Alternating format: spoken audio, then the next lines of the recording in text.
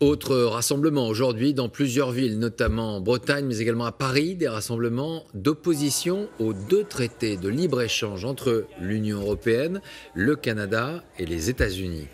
Coup de projecteur justement ce soir sur le CETA. Après sept ans de négociations, ce traité est-il un, cheval de Troie pour le continent américain? S'agit-il d'une atteinte à notre sécurité alimentaire? Il prévoit en tout cas la suppression des droits de douane pour de nombreux pays. Christelle Méral, Lou Cricorian, avec nos correspondants à Lyon. Un mariage économique entre le Canada et l'Union européenne, c'est le principe du CETA, un accord pour développer le commerce.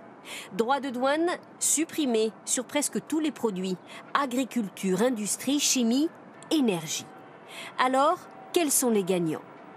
Victoire pour 145 produits européens AOP, les appellations d'origine protégée, comme le Roquefort, jambon de Bayonne, la mozzarella italienne ou l'huile de lavande.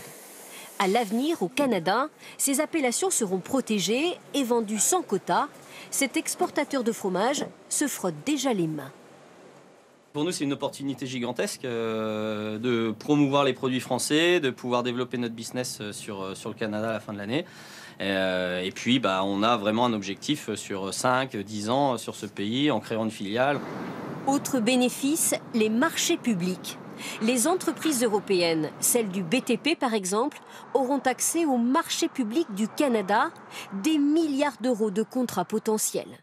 Au total, les échanges pourraient augmenter de 20%. Mais le CETA pourrait aussi faire des perdants. Les éleveurs s'inquiètent. L'accord autorise des importations de porc et de bœuf canadiens. Beaucoup redoutent cette nouvelle concurrence. En France, en Europe, il y a trop de viande et les prix sont en train de complètement chuter. Donc la crainte, c'est de se dire, en fait, il va nous rester quoi comme revenu si on va encore aller chercher euh, de la viande ailleurs qui va arriver moins chère que, que celle qu'on produit déjà. Quoi.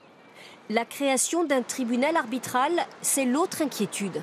Devant cette juridiction, les grandes entreprises pourront attaquer des États européens pour casser des lois qui limiteraient leur développement.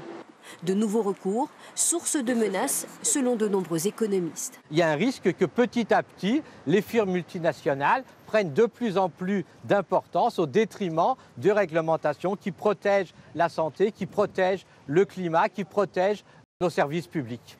Le CETA pourrait être ratifié dans deux semaines. D'ici là, d'intenses négociations sont prévues.